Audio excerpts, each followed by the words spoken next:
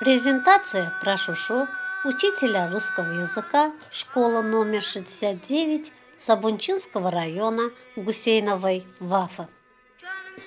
Основателем этого прекрасного города был карабахский хан Панахали хан Джаваншир.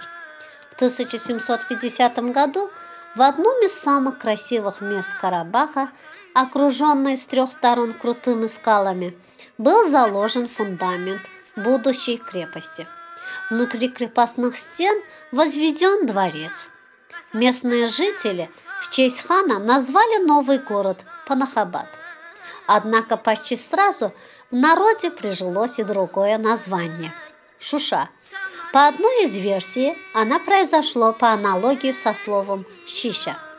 Так на азербайджанском называют острые пики гор.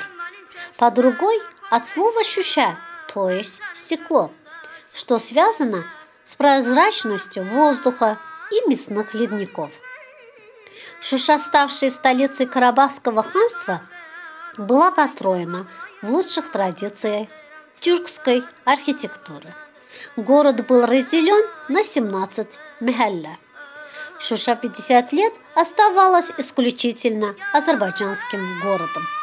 Первые армяне были перенесены по Тюркменчайскому договору.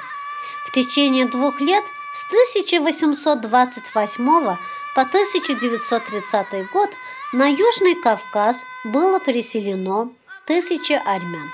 Им было выделено более двух тысяч десятин земли. И в 1932 году, согласно переписи, население здесь проживало свыше 91% азербайджанцев и чуть более 8% армян.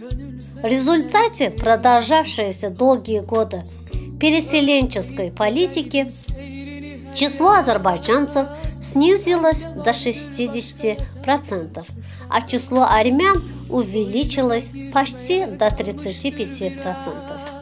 До оккупации армянскими соединениями 8 мая 1992 года в территорию Шушинского административного района входили один город, один поселок Тушсу и 37 сел.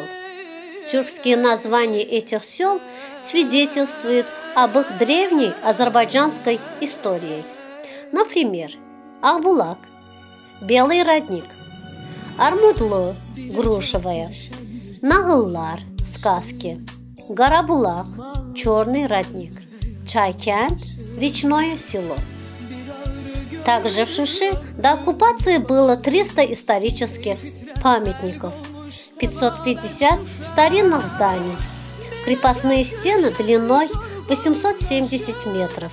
Из них 23 исторических памятника относились к памятникам азербайджанского и мирового масштаба. Многие из этих памятников относятся к 18-19 векам.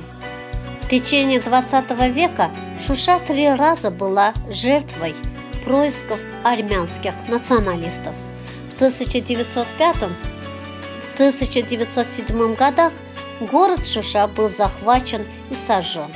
В 1920 году большая часть города была разрушена. Третий раз в мае 1990 года город был окончательно захвачен. Посмотрите, это наша родина. Это Шуша. Он не просто обыкновенный город, построенный из камней. Он не просто обыкновенный. Он живой. У него есть душа. В его жилах течет кровь. Азербайджанская кровь. Без азербайджанцев Шуша никогда не расцветет. Посмотрите, во что превратили армянские оккупанты. Фотографии на видео – это лишь небольшая часть оккупированного города. Весь город лежит в руинах.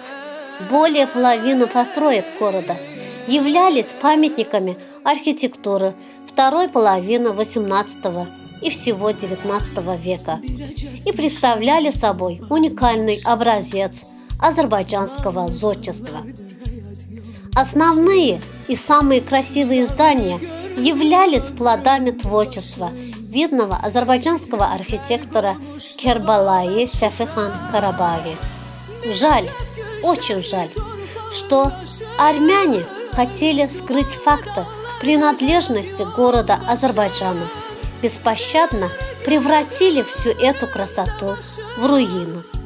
Сегодня от былого азербайджанского города благодаря стараниям армянских вандалов осталась только тень.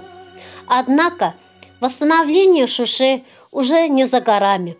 Освобождение оккупированных азербайджанских территорий и в первую очередь символа Карабаха Шуши – это новый толчок для развития как азербайджанской, так и мировой культуры.